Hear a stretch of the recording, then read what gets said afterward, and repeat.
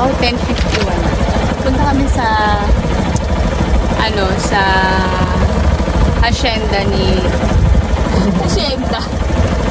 Punta kami sa hacienda ni Tito Joa.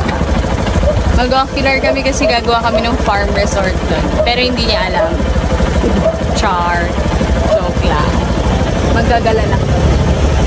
Kasi naka-plan kami na magpi-beach ngayon pero nagkatamara na. So,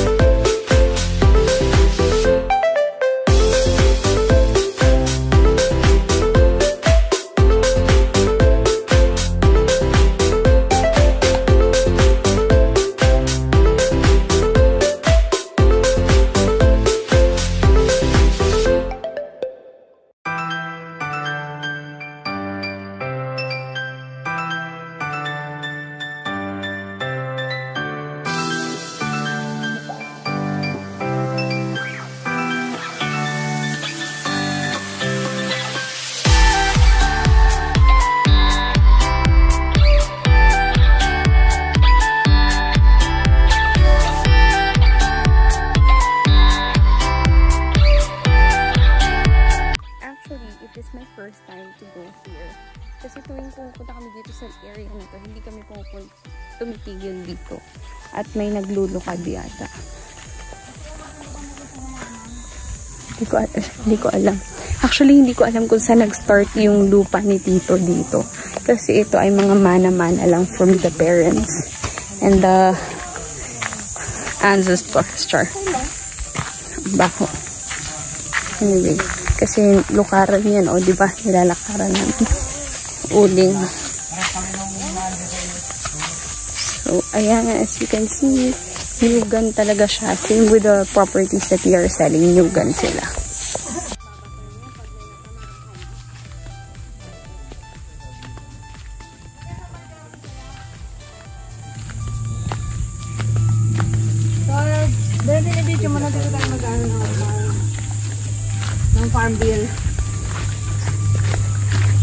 Yarang aring nga ba yung sa nanay antang yan?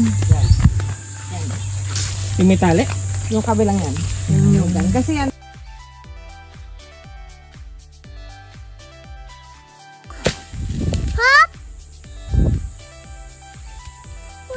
Tatay, Mora. Okay. Ayun, tatay. Ayun, tatay. Apo. Oo, yung, yung kuya mo papansin. Ha? Papansin yung kuya mo sa video.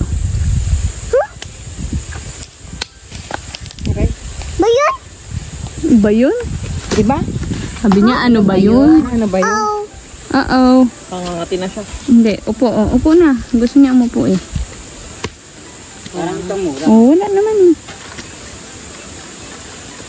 Tatapak ba yan? ayun, yes, wa? Mm sa video. Ano? Ayun, yes, wa? Oo, papansin. Baba na tatay, oh. Baba na, oh. Tingnan. Oh, kababa na. Look. What's that? What's that? Mura. Nora.